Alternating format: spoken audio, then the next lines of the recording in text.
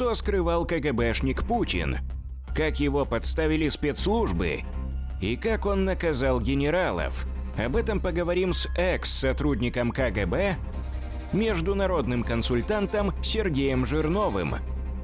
Сергей Олегович, ну, на самом деле на всем постсоветском пространстве вряд ли найдется эксперт более тонкий и разбирающийся в этой теме, чем вы.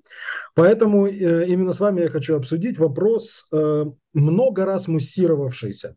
Вопрос о борьбе между ФСБ и между Главным управлением Генерального штаба Российской Федерации, который я дальше буду по, по простоте называть ГРУ, просто потому что так короче и привычнее. Итак, борьба ФСБ и ГРУ. На самом деле борьба между этими двумя структурами, точнее их прародителями, а, являлась чем-то обычным и нормальным в Советском Союзе. Борьба аквариума и борьба со Старой площадью. А, борьба аквариума и Лубянской площади. Лубян, да, Лубянской площади. Существование вообще двух э, или там больше э, служб, спецслужб, которые борются между собой, и это, в общем, нормальная система. Это вообще у всех так, потому что они все борются, строго говоря, за бюджеты и, самое главное, за влияние на царя. Значит, Патрушев является э, э, серым кардиналом за спиной Путина, по э, устройству государственного Российской Федерации все руководители спецслужб напрямую подчиняются президенту. Они не входят, э, например, в структуру правительства Российской Федерации. Mm-hmm. То есть никакой там Мишустин, никакой Медведев, никакой Фродков им э, приказы не отдавал. Им отдает приказы лично президент. И, соответственно, каждый из них там, раз в неделю или бывает там раз в день, а бывает даже два раза в день, ездит в Кремль на доклады к Путину или в Новоогарево, или в Бочаров ручей, или на Валдай, но там, где он прохлаждается со своими любовницами и не любовниками, вот, и докладывает, что там происходит в жизни. Но Патрушев э, пытается централизировать это все дело, под себя тоже поднять, потому что э, смысл такой. Путин человек ленивый, Путин не любит работать, и поэтому Путину надо принести папочку, но в этой папочке должна быть бумажка, где большими буквами, вот такими же примерно, как у Кадырова, когда он там читал свое, свое, свое это заявление Дон Владимир Владимировичу Дон, вот, а, там, значит, большими буквами написано на, на листик э, максимум, да, ну, пол, максимум полтора листа, э, значит, какой, какой-то информации. Э, и вот для того, чтобы э, как бы координировать эту информацию, чтобы она была единообразна, чтобы она была понятна Путину, то есть бумага должна быть э, посвящена одному вопросу и на лист максимум на, пол, на, на полтора с пробелом в два и с кеглем на 30. Вот. И вот этим занимается Патрушев. Дальше эти службы, конечно же, борются за то, кто как зайдет к президенту и кто с чем от него выйдет. И, и это, кстати, э, Путин этим обожает заниматься. Это очень э, хорошо, эм, он это понял. Это вещь, единственная вещь, которую он умеет делать. Вот он умеет э, их всех сталкивать, то есть он умеет встать на позицию мудрой обезьяны, которая сидит на холме и смотрит, как тигры внизу дерутся между собой за то, чтобы, значит, за ее влияние. И он э, э, такой э, крестный отец мафии, да. э, который разруливает конфликты между своими э, лейтенантами. То есть он генерал, лейтенанты или капитаны грызутся между собой, а он значит, разруливает. Таким образом, он не дает ни одному, ни одной службе стать над другой. То есть он регулирует, э, так сказать, их э, возможности, раз. А, он дает возможность, эм, таким образом он получает, в принципе, должен был бы получать правильную информацию, потому что информацию, которую дает одна служба, она в любом случае становится необъективной, потому что эта служба очень быстро понимает, что он от нее хочет слышать, и начинает подстраиваться под него, а не докладывать правду. И для этого нужен конкурент, который скажет, вот они неправильно все рассказывают, на самом деле все вот так. Да? Э, это вот э, по, по идее, как это должно было быть. А дальше проблема уже лично путинская начинается.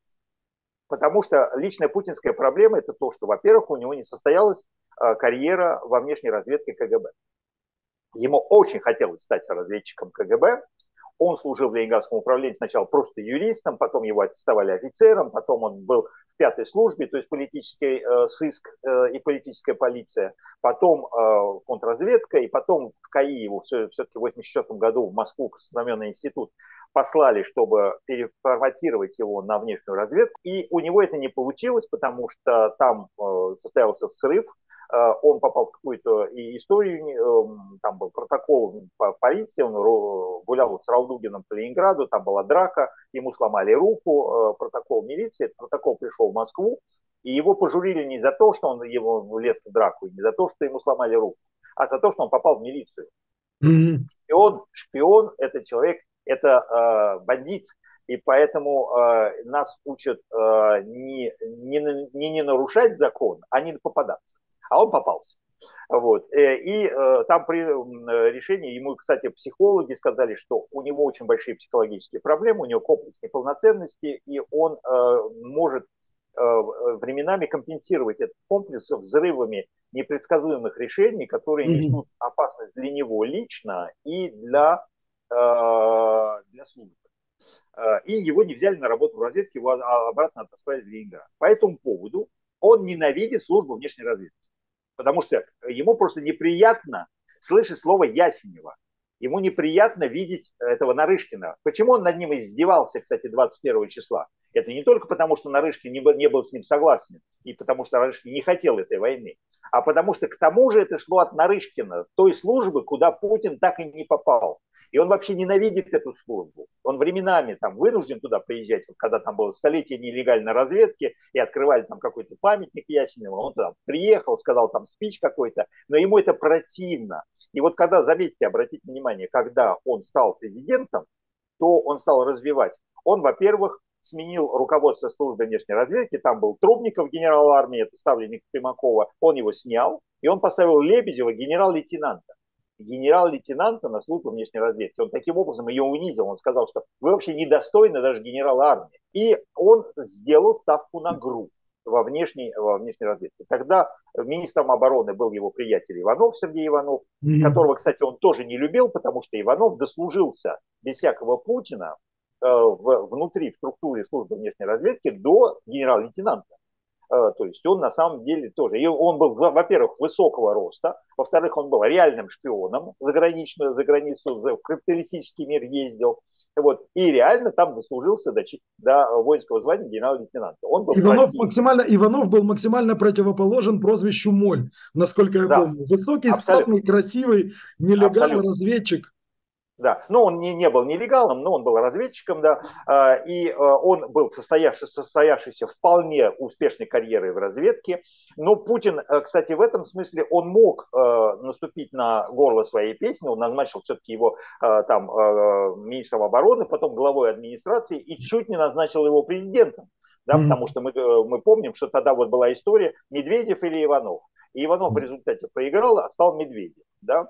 Э, и это тоже понятно, потому что Медведев глупее Путина, Медведев полный идиот. И при Иванове в 2006 году, э, вот я не знаю, помните вы эту картинку, когда э, Путин открыл новую штаб-квартиру групп суперсовременную, там стеклянные здания, потом показали какие-то там залы у них оперативные, вот все как в Америке, да, вот все сделали как в ЦРУ или в Пентагоне.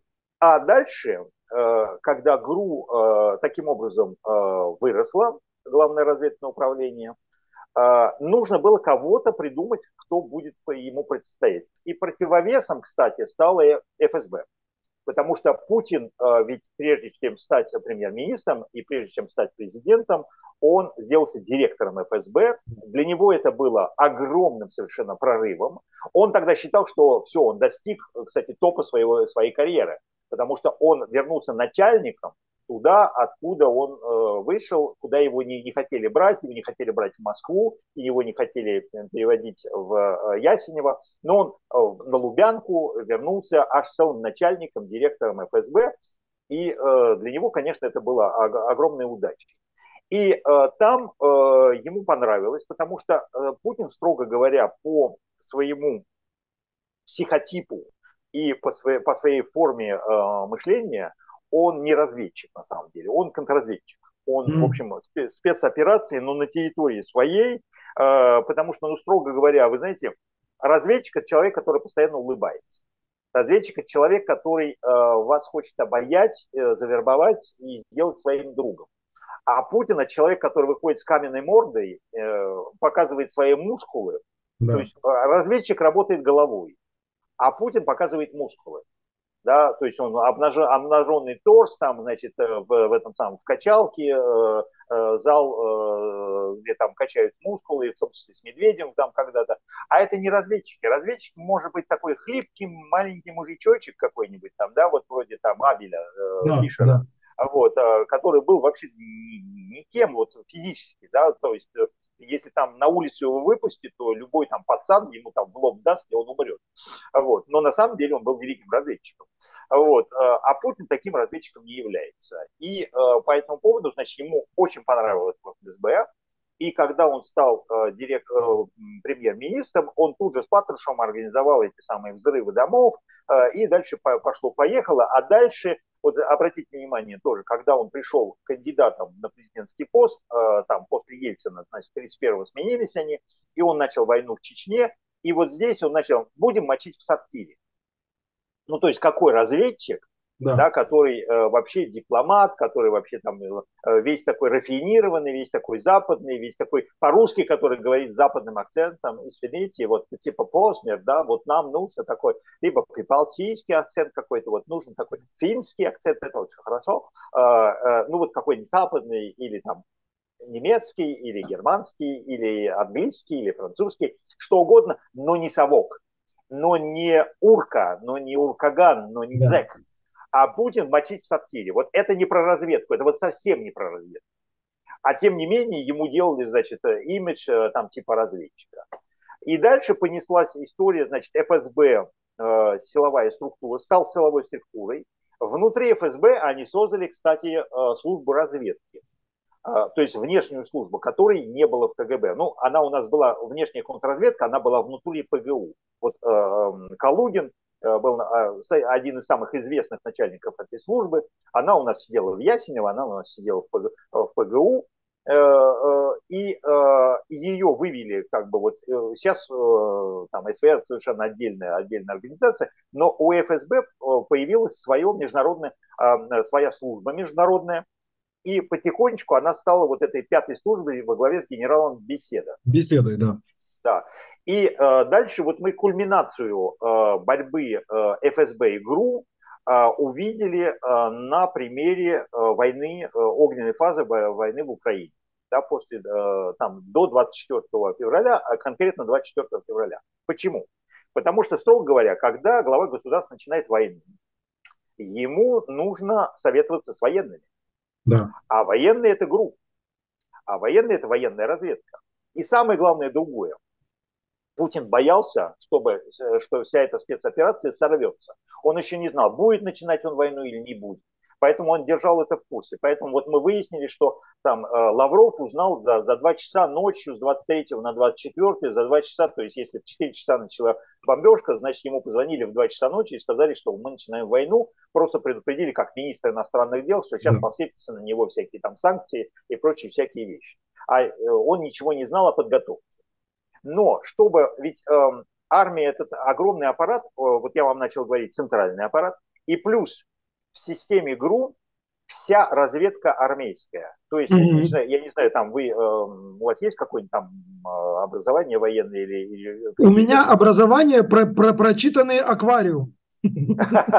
Окей, окей. Это, кстати, очень хорошее образование. Тогда вы все понимаете. Потому что, значит, значит вооруженные силы, да, это э, там начинается там взвод, да, взвод, потом три взвода, рота. А, три роты плюс там э, еще чего-то, или там четыре роты, это батальон. Дальше четыре батальона, это полк. А четыре полка, это дивизия. Да? Ну вот э, и, и в составе говоря, каждого, да, и в составе каждого да, есть разведрота, да, разведбатальон да, и так далее, да, да. И все да, они в подчинении есть, группы. Да, да, то есть в составе, в составе роты есть уже разведотделение, да. А, в составе э, батальона есть разведвзвод, в составе э, полка есть разведрота э, или разведбатальон э, и так далее. И они все подчиняются группе. И та, таким образом даже в мирное время на территории всех военных округов есть структура разведки. И вот даже я, как военный переводчик после МГИМО, принципе, я был связан в структуру ГРУ. То есть, если война, то меня ГРУ призывает к себе, потому да. что кому нужен переводчик с французским языком да, в армии? Да, только ГРУ, то, то, только разведки. И они вели разведку, значит, за границей, вот через эти СОВы учреждения, с одной стороны, конкурируя с первым главным управлением КГБ. А с другой стороны, у них у всех военных округов, и, э, э, которые расположены близко от границы, они все вели разведку по другую сторону территории своей, своей границы. То есть, если вы в Средней Азии, значит, по Афганистану, Пакистану. Если вы на Дальнем Востоке, по Китаю, э, да, и так далее. Вот. И по этому поводу структура ГРУ больше, огромная структура. И, а Путин вдруг принимает решение, что он на эту структуру при планировании своей войны не хочет э, базироваться. Mm-hmm. Потому что он боится, что они его предадут, потому что на самом деле, как выясняется сейчас, генеральный штаб вооруженных сил Герасимов не хотел этой войны. И они сделали слив. Помните, 31 января э, Леонид Ивашов со своей организацией вылез, значит, и сказал, что вот, там планируется война, это все очень плохо, э, да, нельзя, ее, нельзя ее начинать, если начнете, вы ее проиграете, если вы ее проиграете, развалится Россия, Путин, уходи в отставку. И тогда это был огромный, огромная информационная бомба, э, как он, и с ним же ничего не стало, его никто не расстрелял, не посадил, никакие, и до сих пор он живой, здоровый. Он, и, и потом какой-то там полковник ходит даже к Соловьеву, Э, и рассказывает, как плохо воюет э, российская армия или там э, или Вагнер или еще что-то. То есть и это был, вот Ивашов, это был слив ГРУ. Да, это был слив ГРУ и Генштаба. Угу. И Путин понял, что на них нельзя положиться, и он положился тогда на генерала Беседу. То есть вот пятая служба. Пятая служба для чего была создана? Вот когда аннексировал Путин Крым, когда э, началась заваруха в Донбассе, которую Путин сам спровоцировал, э, он создал пятое управление ФСБ, которое начало работать по бывшим странам Советского Союза, mm-hmm. но с враждебными целями. То есть, грубо говоря, начало вербовать. Э, раньше было запрещено вербовать источников на территории Украины до 2014 года. А с 2014 года создали специальную службу, которая только этим и занималась и которая начала ему нести туфту. Она начала, значит, беседы, ему стала рассказывать, что э, миллиарды истратили бабла, э, распилили, естественно, настроили себе дачу, накупили мерседесов да. Э, и, и так далее. И рассказывали все, вся Украина у нас в кулаке, мы все, всех купили, все на нас работают, все нас любят, все нас готовы, готовы выстелить нам красную дорожку, если что, мы придем, как в Крыму будет, э, с э, вежливыми человечками, никто не выйдет, ну там кто-то пошебуршится. При всем при да. этом, насколько я понимаю, а что говорила ГРУ об Украине, и никого не интересовало, это никто не слушал. Абсолютно. А ГРУ говорила, э, соответственно, поскольку между ними вражда, и поскольку Путин не хотел слушать ГРУ, а ГРУ не хотел этой войны, потому что ГРУ на самом деле понимал, что нет никакой армии. Нет никакой армии, что нет никаких боеприпасов, нет никаких танков. Армату видели один раз на Красной площади, и то она заглохла. Да? Они же понимали, что никак, никаких вот этих супер, там, пупер э, каких-то оружия, ничего нету. Кинжалы есть, но их там 20 штук, но их там 50 штук, их там 100 штук. То есть их поэтому, и, поэтому ими и не стреляют, или поэтому ими стреляют там раз в году, потому что их просто нету, мало их. Да, и они стоят безумные бабки. Вы, кстати, напомнили мне еще одну штуку, еще один пример войны между ФСБ и ГРУ, и достаточно яркий, о котором мало кто знает. 14 год, заваруха, точнее, вторжение на Донбасс, да, там, условно говоря, прокси силами. А, мало кто знает, что э, Донбабве и Луганда были четко разделены между спецслужбами. Вот я их все время путаю, да, но мне кажется, Луганда э, была курировалась ФСБ, а э, Донбабве курировалась ГРУ или наоборот. Наоборот. Наоборот. наоборот да, я все время путаю. Э, э, Луганск это ГРУ, а э, это очень, очень просто запомнить, потому что министром обороны Донецка был Гиркин а Гиркин полковник ФСБ. ФСБ, точно, да, да. да. Поэтому Ф, ФСБ в Донецке, вот это вот, э, это такой мнемо э, э, прием, э, значит, если вы помните Гиркина, а Гиркин Донецк, э, Гиркин ФСБ, значит, ФСБ да. курирует Донецк, а ГРУ, соответственно, э, Луганск. То есть это правда? Вот. Да, это правда. Это правда, безусловно, совершенно. И вот, кстати, оттуда уже пошло противостояние, потому что каждый, конечно, хотел говорить, что вот у нас правильнее, мы лучше работаем, мы э, лучше э, и так далее. И, кстати, это была правда, э, которая доказала свою правду на поле боя. Потому что, обратите внимание, Луганская область 98% захвачена, а Донецк 55%. Э, и э, в Донецке они продвинулись за э, год с лишним на 25 километров. То есть от линии огня Э, грубо говоря, там Хаймарсом можно добить спокойно, даже не Хаймарсом, а даже Цезарем можно добить спокойно до Донецка. Да, даже, до Донецка, по-моему, даже до 30 добивают, если из да, да, даже, да. даже Гаубица добивал до Донецка, да, да, правильно. А, и, э, соответственно, и, соответственно, там эти самые там грады какие-нибудь, которые на 40 километров бьют, они, конечно, добивали до Донецка и, и даже дальше. Вот. Э, и в этом смысле, значит, Путин, когда он принимал это решение, он понимал, что, а, военные не хотят этой войны, а ему хотелось этой войны. И, соответственно, беседа ему впаривал, что э, давай, давай, начинай, все отлично, потому что на самом деле никакой войны не будет. Всех мы купили уже, все это mm. всякие там олигархи, все украинские олигархи наши, Зеленский вообще ничего из себя не представляет. Вот, э, Украина только нас и ждет, а вообще нам выкатят все, все будет как в Крыму в 2014 году. А Беседа сам понимал, что информация, которую он дает, она не конгруентна, она, она, не, она нереальна. Или, или, Но... или нет, или он действительно искренне верил в каравай. А, я так думаю, что, вы знаете, обычно бывает всегда офицеры, которые работают в поле, они все знают, они все понимают. Вот те, кто реально собирает информацию, все, все, все, все прекрасно понимают. Потому что они, они же понимают, что распил идет, да? они же понимают, что мы, э, то есть вы делаете справку, э, я такой-то, такой-то э, передал чемодан э, миллион долларов такому. Но вы же знаете, что никакого чемодана вы никому не передавали, что на самом деле вы распилили это с вашим полковником, с генералом, и, и просто каждый себе построил квартиру, дачу и купил Мерседес.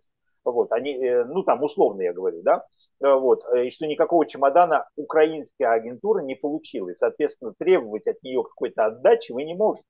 Но вы убеждены, что никакой войны не будет никогда, что это глупо просто вести войну, потому что вы понимаете, вы на месте, внизу, вы понимаете, что завоевать военным путем страну э, большую территориально, и э, в которой живет 45 миллионов человек, невозможно, даже России невозможно. То есть вы можете завоевать, вы можете вкатить какие-нибудь там танки куда-нибудь, э, вплоть до Львова, да, вплоть до польской границы, там и до румынской границы, но вы там не останетесь, потому что там начнется партизанское движение, да. а в КГБ это помнили. В КГБ помнили у НАУПСО, э, которые там 15 лет по э, закарпатским лесам, и, и это было, кстати, вот Путин забыл классику советскую, да, потому что если вы посмотрите «Ошибка резидента», вернее, судьба резидента. Да. Где, значит, 69-й год или там какой-то там 68-й год, классика э, контрразведки, э, и там, значит, один генерал другому генералу рассказывает, что типа, а я вот, э, помнишь, я этих кругов до сих пор помню, да, потому что я из них, из-за них звания лишился, меня понизили в звании. Потому что вот мы, значит, там банду-то разгромили, а круги ушли за кордон и стали в разведцентре работать. Это вот про это. Это вот про mm-hmm. это и Путин это не, не помнил, он не понимал, что вообще Украина, Украину нельзя э, держать в подчинении, ее можно завоевать, ее не, нельзя будет удержать. Вот. Э, люди, которые на, работают э, на земле, они это знают. Но проблема заключается в том, что ты пишешь справочку, несешь ее своему начальнику.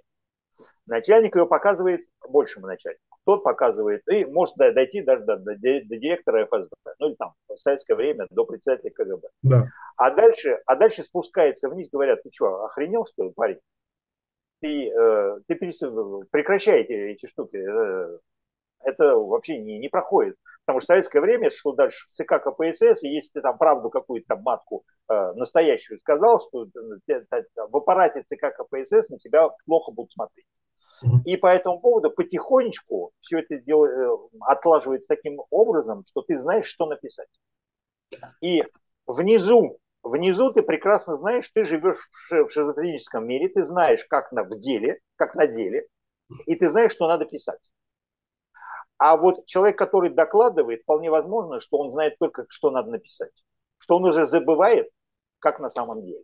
Вот тут вот, вот, вот, вот очень важный интересный вопрос. То есть получается, что тот же беседа, условно говоря, да, и тот же Патрушев, они э, просто написали то, что Путину приятно будет прочитать, и то, что ему приятно будет. Да, конечно, увидеть. конечно, конечно. Причем это они написали, э, понимая с рациональной точки зрения, что никакой войны начинать нельзя. Тем более, я бы сказал так, можно было, вот, э, э, допустим, э, вот станем на их, на их позицию, да, хорошо, идет затяжная война на Донбассе, и никакого продвижения нет. Это, в общем, как Первая мировая война, вырыты окопы полный, полный профиль, с одной, с другой стороны, друг дружку бомбите время от времени, никто никуда не может продвинуться, потому что железная система, э, там все заминировано, все, все схвачено, и все. И то есть э, за, законсервированный конфликт, который может продолжаться э, десятилетия. Беседа ему говорил, да никакой войны не будет. Будет как да. в Крыму. Войдем, нам там, никто стрелять даже не будет, сдадутся, сложат оружие, потом мы там арестуем Зеленского, он подпишет капитуляцию, и все, и замечательно, все замечательно. И вот это ему рассказывал Зеленский. А ГРУ и и, и это самый, и э, Герасимов не были с этим согласны. Скорее всего. Вот реально для меня это феноменальная абсолютно штука. Я себе только представляю, в какую глубину упало там сердце у беседы, когда, собственно говоря, война началась, и он понимал, что она началась из-за его представлений, из-за его справок, да, то есть тут уй, это, наверное, самое нежное, что у него в голове произошло в этот момент. Да, да? конечно, конечно, конечно. Причем он еще все-таки надеялся, потому что вот э, правильно вы мне задали вопрос, а он уверен был вообще в том, что он носил Путину, он верил или не верил? Я думаю, что даже он поверил в то, что он ему носил. Mm-hmm. Да, потому что, ну, ну, иначе с ума сойдешь, да, если вот ты понимаешь, что ты обманываешь шефа э, целыми днями. Вот, поэтому он все-таки себя, наверное, убедил, что вот это будет именно так, а потом за ним пришли. А потом его в СИЗО посадили, его же в Лефортово посадили. Да, да, да. Потому что ему же сказали, ну все, ну вот ты это и, и самое главное, ему сказали, мы, опять же, вот э, не за то, что ты нас э, развел там на бабло на какое-то, там миллиарды, это все распиливают, там все, Шойгу распиливает, все распиливают. Все генералы там, вот это там, это, э, абсолютно все армейские, все грушники, они все-все распиливают. Но за то, что ты э, обманул, обманул да. и не, не сделал, э, не, не, не дал э, правильную информацию. Вот. Но, с другой стороны, Путин ведь такой человек, который не признает никаких ошибок, ни своих, ни чужих. Э, чужих, ну, в смысле каких? Ни своих, ни своего окружения. Да. И э, поэтому дальше ему начали продавать э, идею, что э, нет, нет, нет, все пошло не, не, не по плану, потому что за украинцами стоит НАТО, американцы, то есть там все серьезно. Это мы никакие это не украинцы. Украинцы наши, они готовы с нами брататься, но им мешают американцы, им мешают французы, немцы, израильтяне, там кто угодно, марсиане. Ну, сам, и, вот, и дальше вот этот нарратив пошел. Э, и, судя по всему, Путин он понравился, потому что ведь иначе надо сказать, что я дурак. Да, потому, да, что, да. потому что мы с вами начинали с того, что вся система спецслужб абсолютно вертикально и э, пирамидально за, за, за, зацикливается на Патрушева и Путина. И то есть сказать, что это мы неправильную систему выстроили, систему. Я не помню в советское время, несмотря на все противостояние ГРУ и КГБ, чтобы, например, в, была какая-то история, похожая на дело Скрипалей. Ведь говорят, что именно ФСБ раскрутили историю с неудачным отравлением а, в Солсбери. Именно раскрутили, да, то есть вот они подняли это, они выдали на гора, они начали сдавать имена, явки и пароли грушников. Вы знаете, нет, я думаю, что это э, немножко не соответствует действительности, э, потому что, во-первых, э, отравление Скрипалей было задумано как публичная казнь. Mm-hmm. Это абсолютно не была борьба между спецслужбами, это, была полити... это было политическое решение, Две, 4 марта, через две недели, первый тур президентских выборов 2018 года. У Путина очень плохой рейтинг, потому что он провел пенсионную реформу, и он упал в глазах всех пенсионеров. Потому что он э, ну, отнял у них деньги, повысил пенсионный возраст и так далее. И ему нужна была какая-то акция, и вот дальше я так думаю, что вот тот же самый Патрушев, а возможно даже и начальник ГРУ тогдашний, я уж не помню, кто там был, они, э, меня, меня, они, кстати, все начальники групп плохо, кончили, вы знаете, они все умерли странными, э, э, странным способом в довольно молодом возрасте. Вот их там было, там, по крайней мере, три смерти э, э, довольно, довольно странные. Воздух а, плохой. Ага, да, да, да, да, да. В штаб-квартире там mm-hmm. плохой воздух. Вот, э, и э, тогда была задумана операция, чтобы повысить рейтинг. То есть нужно было устроить показательное мероприятие за границей, э, значит, смерть предателей, СМЕРШ. И поэтому, кстати, они надели парашюты, вот все как по Штирлицу. Штирлиц шел, шел в советской военной форме ага, с, ага. с ППШ и с, с, значит, на плече, за, за ним тащился парашют, а, и, значит, Мюллер там говорит, ну, почему вы его не арестуете? Ну, а он выкрутится, да, вот этот старый анекдот про Штирлица. Да, и все было сделано так, что есть, э, на самом деле не, не надо считать их полными идиотами. А, в ГРУ есть очень серьезная служба нелегальной разведки которая, кстати, доказала, что она работает. Она там вот э, какие-то аргентинские люди, какую-то тетку в Италии нашли. То есть, в принципе, у них там есть довольно много в нынешних условиях приличных нелегалов. Если бы им надо было там приехать в Лондон, убить этого Скрипаля и не оставить следов, взяли бы иностранные паспорта, запустили бы их через, пропустили бы через пять стран, в каждой из пяти стран поменяли бы им документы, следов никаких не нашли бы никогда бы никто. А, этого они не сделали. Они купили билет Москва-Лондон на свои э, ПГУшные, грушные, грушные э, паспорта, которые Беллингет, значит, пять безработных из Лондона нашли за три секунды в любых э, базах данных. Это была политическая акция, это была политическая расправа публичная над предателем, и по этому поводу, значит, э, у Путина сразу рейтинг повысился на 20%. Последний вопрос. Э, в противостоянии в ФСБ и ГРУ, как далеко они могут зайти? Вы верите в то, что э, убийство Дугина или взрыв Крымского моста – это элементы борьбы ФСБ и ГРУ? Ну, многие приписывают и Крымский мост, и э, Дугину именно ГРУ.